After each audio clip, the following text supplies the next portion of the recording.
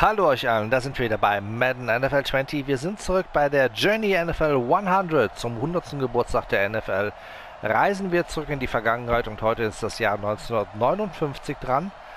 Drei Sterne Herausforderung, wir sollen das Spiel gewinnen. Wir kriegen einen Bonus, wenn wir drei Passing Touchdowns erzielen. So, es geht gegen die Indianapolis Colts. Wir sind im dritten Quarter, liegen mit zwei Punkten hinten. Es steht 7 zu 9. Wir haben den Ball an der eigenen 25 Yard linie Wir brauchen drei Passing TDs. Das ist schon mal eine Ansage. Starten wir mal mit dem Play Action Jack Lancy. Whitner attackiert die Mitte. Wir achten rechts auf unsere äh, links auf unsere Receiver, auf Cooper und auf Owens, der im Slot steht. Wir gehen tief auf Amai Cooper und der hat das Ding an der 35-Yard-Linie. Riesen Catch der Cowboys Offense. Das war ein richtig gutes Play. Double Slant. Owens und Cooper jetzt auf einer Slant Route. Und wieder geht es auf Amai Cooper. Uh, nach oben weggesprungen der Ball. Das ist immer, das ist immer sehr, sehr gefährlich. Wir müssen ja hier nicht in hektische Aktivitäten ausbrechen. Da der Drive. Witten attackiert die Mitte. Links außen steht Terrell Owens. Auf den haben wir ein Auge. Der ist aber gut gedeckt. Aber dafür ist unser Titan frei. Und das ist ein First Down in der Red Zone der Colts an der 16-Yard-Linie. Erster Versuch und 10 für Dallas. Wir nehmen den Tight End Attack. Achten wieder auf Witten und aber auch auf Jarwin. Der Ball geht zu Jason Witten und der ist in der Endzone. Und wir haben den ersten der geforderten drei Passing TDs für das Bonus-Goal geschafft. So, wir sehen noch den PT. Der Spielstand ist jetzt 14 zu 9. Das heißt, wir haben das Spiel gegen die Colts gedreht. Also ich wundere, dass wir hier in Baltimore spielen. Zu dem Zeitpunkt 1959 haben ja die jetzigen Colts, glaube ich, noch in Baltimore gespielt. Als Baltimore Colts. So, probieren einen Onside-Kick. Ich möchte die Offense der Colts nicht allzu lange auf dem Feld stehen lassen, denn wir müssen ja diese geforderten drei Passing Touchdowns erzielen. So, da sehen wir Frank Reich, Super Bowl-Sieger mit den Philadelphia Eagles da als Offensive Coordinator. Erster und 10 an der 46-Yard-Linie für Indianapolis. Das ist ein vollständiger Ball von Jacoby Brissett, der ja in der Offseason, ich glaube, es war beim dritten Preseason-Game, auf einmal sich als Starting Quarterback wiederfand, weil Andrew Luck seine Karriere beendet hat. So, wir haben einen dritten Versuch und vier. Der Ball ist an der 40-Yard-Linie die Chance, die Colts jetzt zu stoppen.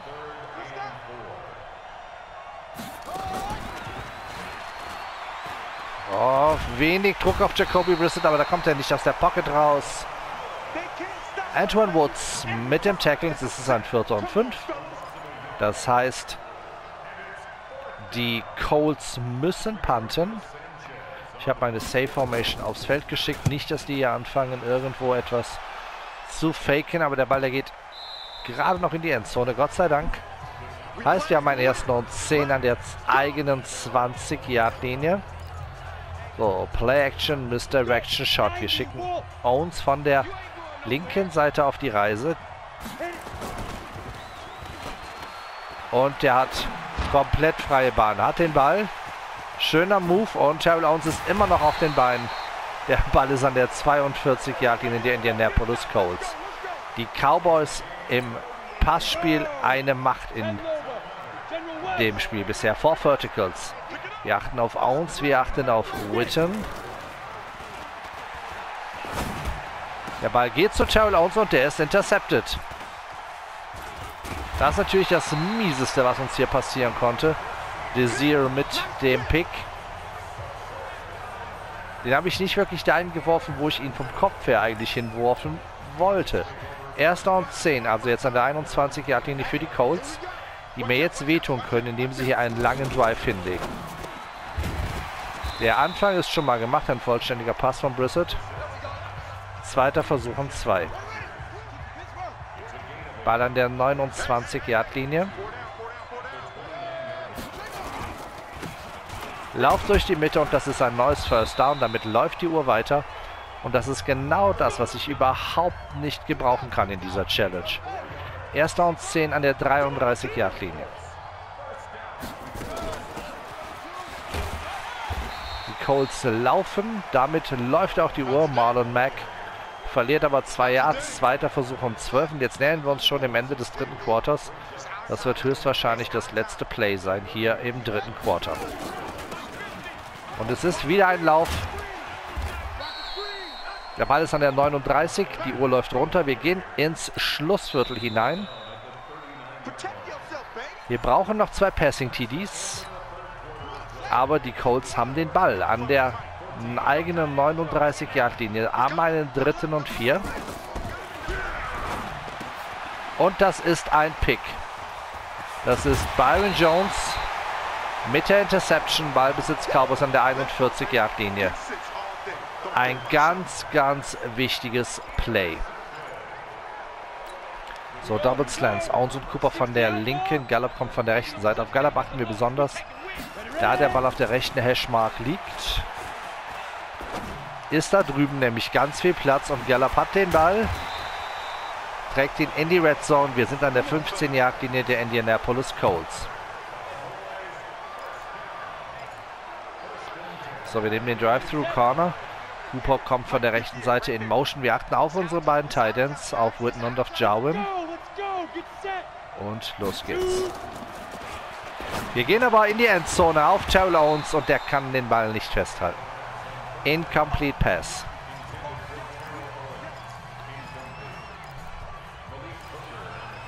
Wir nehmen den Trail, attackieren die Mitte mit Owens, mit Winton und mit Gallup.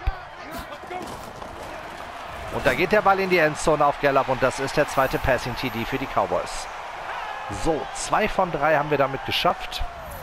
Einen brauchen wir noch. Der PET ist gekickt, der PET ist gut und damit steht es 21 zu 9. 12 Punkte Führung. 4 Minuten 12 sind noch zu spielen. Jetzt müssen die Codes sich was einfallen lassen. Onside Kick.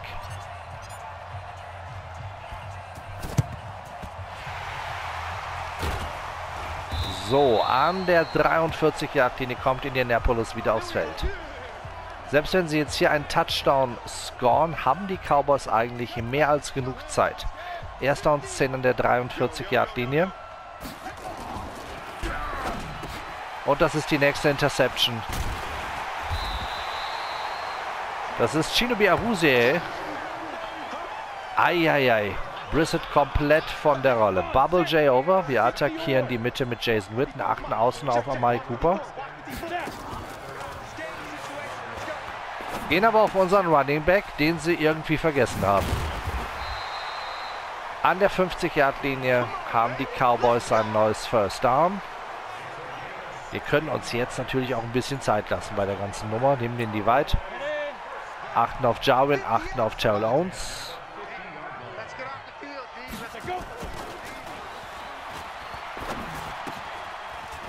So, Terrell Owens hat ein neues First Down. Der Ball ist an der 32-Yard-Linie. Erster Versuch um 10 für die Cowboys.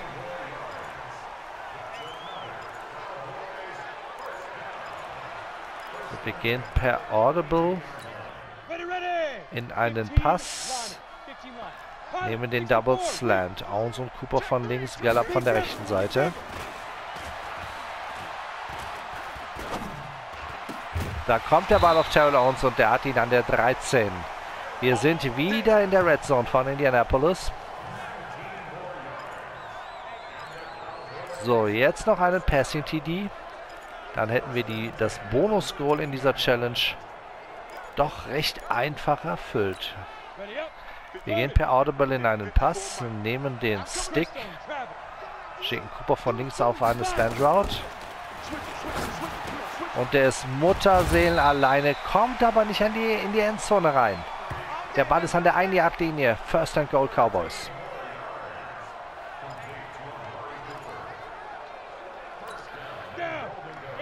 So, wir gehen per Audible in einen Pass. Wir müssen ja hineinwerfen. Achten auf Amari Cooper.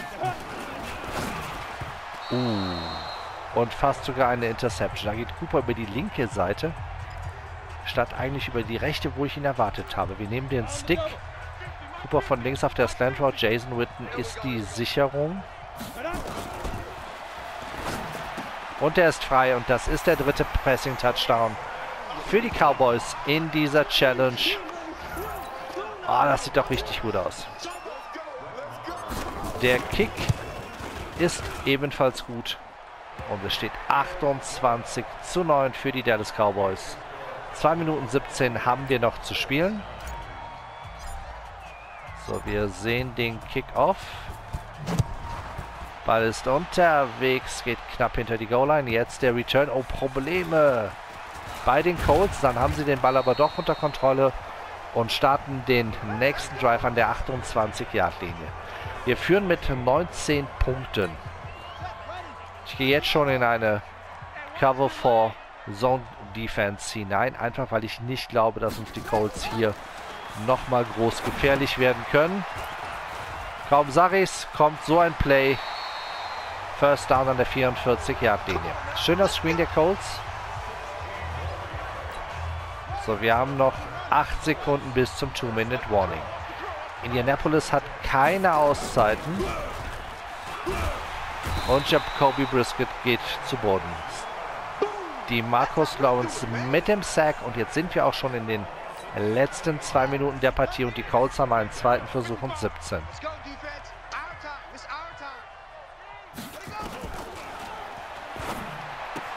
Ein vollständiger Pass. Oh, keine guten Tackles bis Tillman kommt. Dritter Versuch und 6 von der 48. Oh, ein wunderbarer Catch und ein neues First Down. Der Ball ist an der 40. Die Uhr ist gestoppt. Eric Ebon, der ja von den Detroit Lions gewechselt ist. Erster und 10 an der 40 Yard linie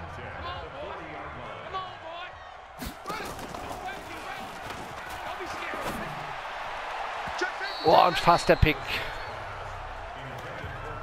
Zweiter Versuch und 10. Wir gehen in eine Cover 6 hinein. Der Ball ist an der 40-Yard-Linie.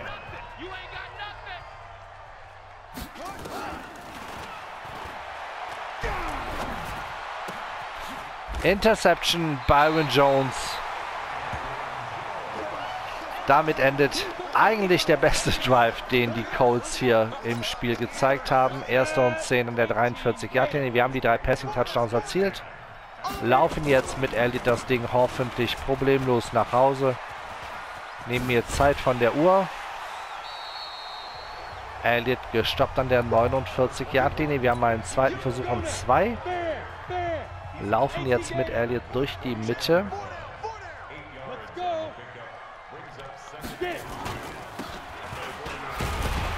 Oh, das ist kein First Down. Die Colts stoppen Elliott an der 47-Yard-Linie. Dritter Versuch und Zentimeter. Elliott mit dem Run. Und das hat nicht gereicht. Ich bin gerade ein bisschen fassungslos. Justin Houston mit dem Tackle. So, wir spielen diesen vierten Versuch aus. Vierter und zwei. Owens und Cooper von der linken, Geller von der rechten Seite. Wieder gehen wir auf Slant Routes. Und wieder gehen wir auf Gallup. Macht er auch noch seinen Touchdown? Nein, der wird gestoppt an der neuen Yard-Linie. Aber ein Riesenplay von unserem Wide Receiver. Und 1, 2, 3, 4 Sterne geholt. Maximum Stars, mehr gab es nicht. Bis zum nächsten Mal. Macht's gut. Ciao.